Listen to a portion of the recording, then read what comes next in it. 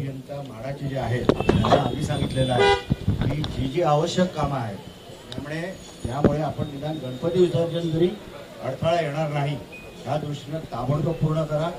राहिली गोष्ट महानगरपालिकेची माझी आजही तयारी आहे की इथे विसर्जनासाठी आवश्यक सगळ्या सुविधा तुम्हाला देण्यात येतील. हां? आता सोमवारी आज सुट्टी आहे त्यांना माडावाल्यांना सोमवारी आम्ही त्यांच्याशी चर्चा करू. आवश्यक कामं तातडीनं निदान एक आठवडा दहा दिवस जे काय लागतील जेणेकरून गणपती विसर्जन आपलं सुरळीत पार पडेल एवढं मी ने मिला है कि आपको परमिशन भी मिली है विसर्जन के लिए क्या कुछ कहना चाहिए ऐसा है ये यहाँ के स्थानिक गांवकरी ने अपने श्रमदान से बनाया हुआ तालाब है। कई सालों के इसका इसका इतिहास है और यहाँ के अड़ोस पड़ोस के सभी लोग यहाँ गणपति विसर्जन के लिए जब आते हैं तब अपने ढोल ताशे के साथ आते हैं। मिरवणुक से आते हैं और यहाँ विसर्जन करते वक्त यहाँ एक धार्मिक और भक्तिमय वातावरण रहता है। गणपति बप्पा मोरिया के गजर में यहाँ के लोग यहाँ विसर्जन करते हैं और एक आनंदमय वातावरण हो जाता है। आप समझ सकते हैं कि जब ये तालाब का विसर्जन करने के लिए यहाँ के महानगर पालिका के अधिकारी ने मनाई की। इसके लिए हमने आंदोलन के लिए बात की। तब उन्होंने कल हमें आश्वासन दिया, नहीं, गणपति विसर्जन यहाँ होगा।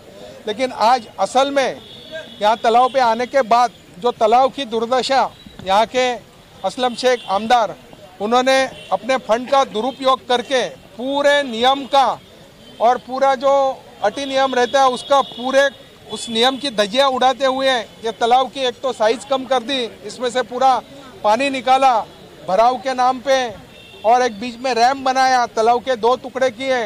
इससे यहाँ के सभी लोगों में एक नाराज़गी है। इसके बारे में हम आने वाले समय में आदरणीय खासदार जी, गोपाल शेट्टी जी के नेतृत्व में इसके बारे में हम ज़रूर चर्चा करेंगे। लेकिन आज महानगर पालिका के अधिकारी और माड़ा के अधिकारी ने फ़ोन पे बोल के ये गणपति विसर्जन के पहले तालाब गणेश भक्तों के लिए खुला किया जाएगा और हर साल जिस तरह धामधूम से यहाँ गणपति विसर्जन होता है वैसा यहाँ गणपति विसर्जन होगा ऐसा आश्वासन मुंबई महानगर पालिका के अधिकारी ने भी यहाँ आके दिया। गणपति बप्पा! देखिए ये पूरा रोल इसमें माड़ा का है और माड़ा के अधिकारी जब एक आमदार के फंड के सारे ये काम करते हैं तो इसके पूरा इंस्ट्रक्शन हमें खेतपूर्वक कहना चाहिए कि असलम शेख जैसे लोग यहाँ भी धार्मिक तनाव करने की कोशिश करते हैं और उनका एक प्रयास था कि इस साल अगर यहाँ गणपति विसर्जन नहीं किया जाए और बड़े बड़े बोर्ड लगाए जाए, लगाए उन्होंने और उससे ये गणपति विसर्जन नहीं होना चाहिए, ऐसी उन्होंने योजना रखी ताकि अगले साल ब्यूटिफिकेशन करने के बाद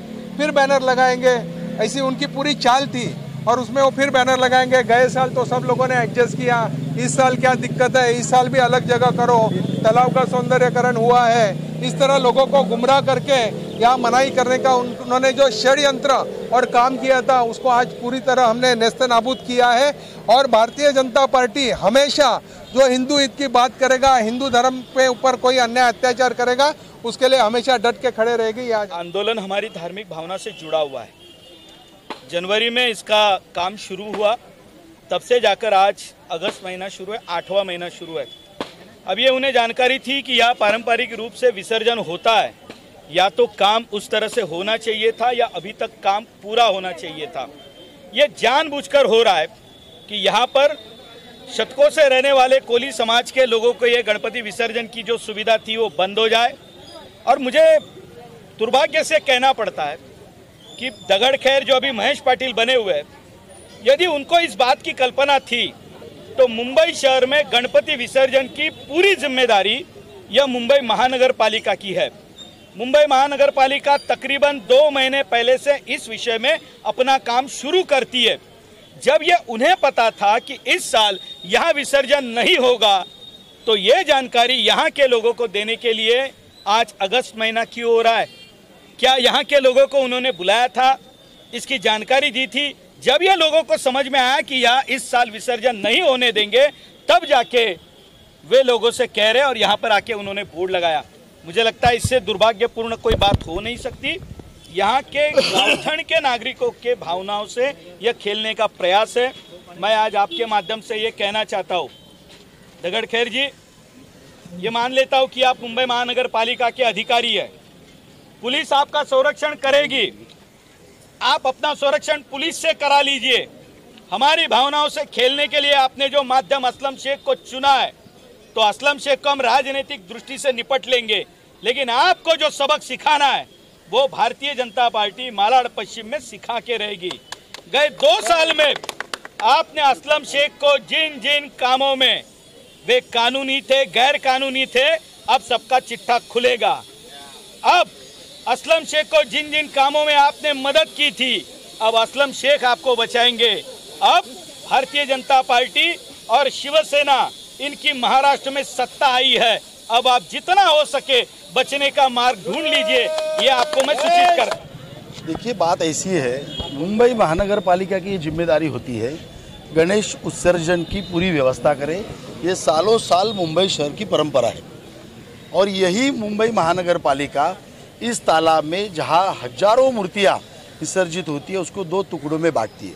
इतना ही नहीं, इस तालाब को छोटा करने का काम कर रही है। अगर इसमें कुछ इम्प्रूवमेंट की बात होती तो यहाँ के जो ग्रामस्थ है, रहने वाले स्थानिक लोग हैं, उनसे राय मशूरा कर सकते थे।